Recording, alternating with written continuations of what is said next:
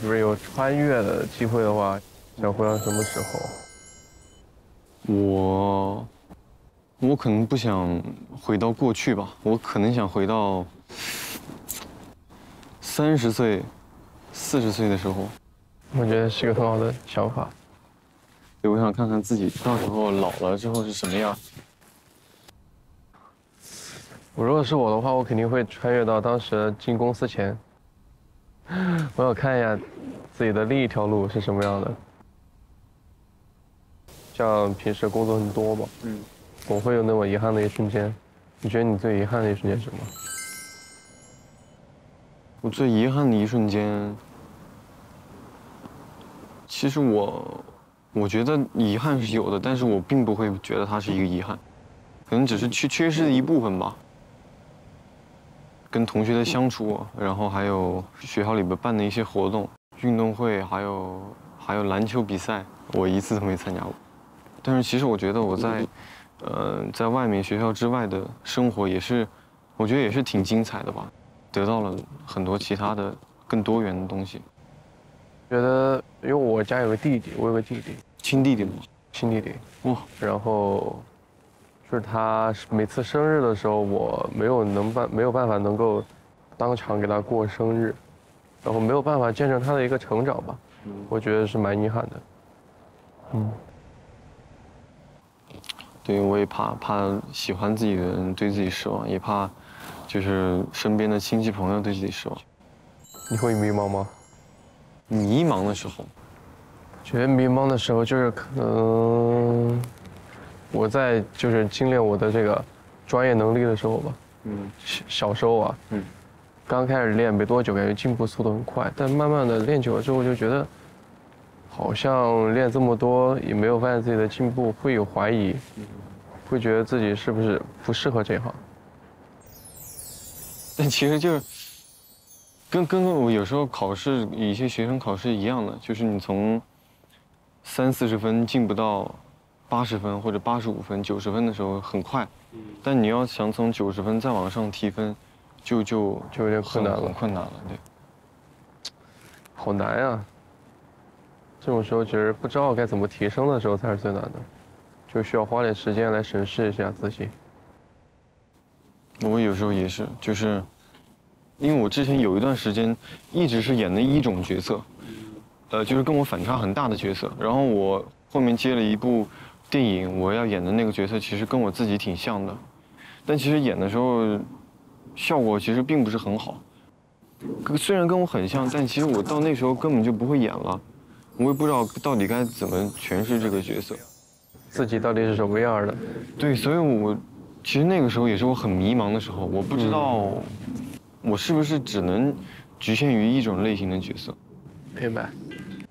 我觉得我还挺幸运的，就有有两个特别特别好的朋友，因为他们两个是是双胞胎，所以他们两个都会同时出现。他们也喜欢打篮球，然后跟我有共同的爱好，觉得在一起玩挺挺开心的。嗯。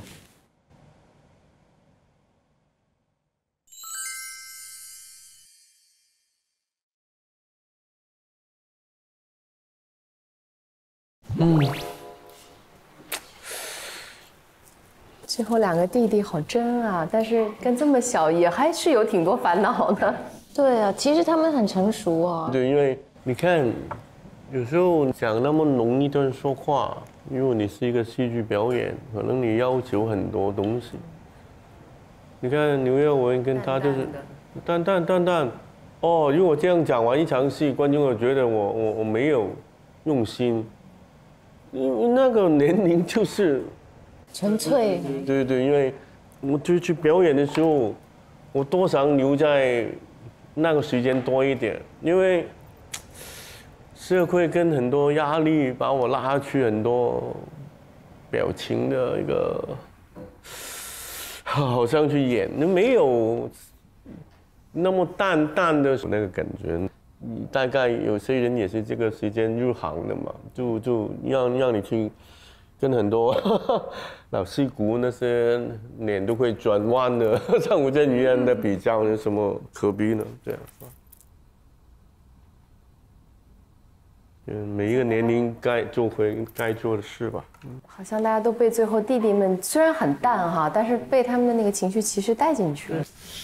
因为他虽然年龄小，可是他已经拍了有七八年，所以他是应该是一早就已经在社会里面看到很多不同的方方面面吧，所以心态其实他有改变。你那个儿子讲说那段，我就跟他说，我有一个角色很接近我自己，但我不嗯，反而不会演了。后面接了一部电影，我要演的那个角色其实跟我自己挺像的，虽然跟我很像，但其实我到那时候根本就不会演了。哦，真的真的，对，所以他刚才那种那种嗯对感慨啊，其实是太早熟了。对呀，可是因为他很喜欢演戏，所以我也觉得也不是一个坏事。对我，我相信他以后会更好，因为他太爱了，很用心了。对，很用心，很用心。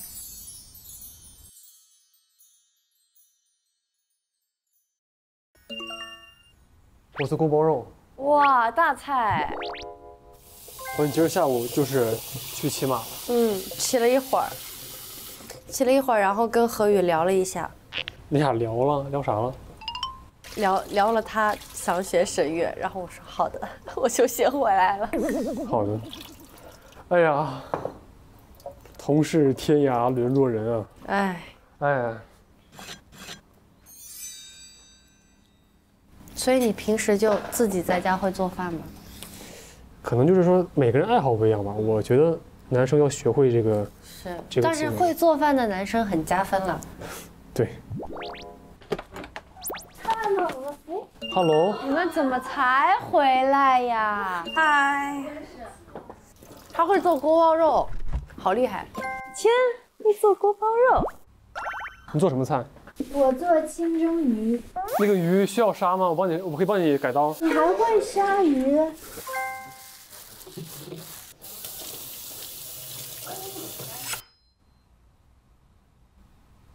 他会杀鱼？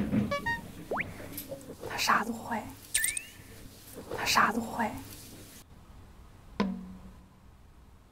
你会，你会这样弄鱼啊？会啊，这不一般都是早市的叔叔阿姨们擅长的项目。